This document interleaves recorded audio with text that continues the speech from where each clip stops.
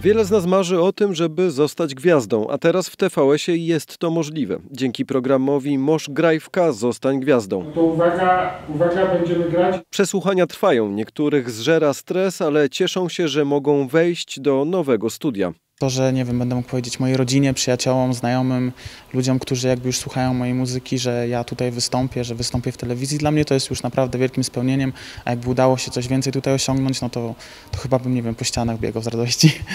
To dla nich okazja do tego, żeby poczuć się jak osoby, które na co dzień oglądają w telewizji. Czują, że, że mają w sobie moc, ale nie bardzo jak tu zrobić ten pierwszy krok, jak się pokazać.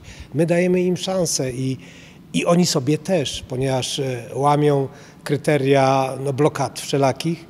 Idą odważnie tu, a co się będzie działo, zobaczymy. Gwiazdy, nie te przyszłe, tylko dobrze znane naszym widzom, będą z kolei czekały na nich już za kilka dni. 15-lecie telewizji TVS coraz bliżej. Atrakcje dla dzieci już od godziny 14, a potem e, dla dorosłych mnóstwo różnych atrakcji, różne strefy e, sportowe, zdrowia. e, Będzie można zakupić jakieś błyskotki, oczywiście strefa gastronomiczna.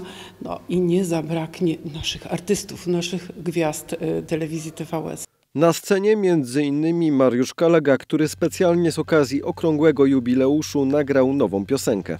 Do wielkiej imprezy urodzinowej telewizji TVS pozostało niewiele czasu. Zapraszamy Was 6 maja właśnie tutaj na Pola Marsowe w Parku Śląskim. Zapewniam, że pogoda będzie lepsza niż dzisiaj. Łukasz Kądziołka, Silesia Flash.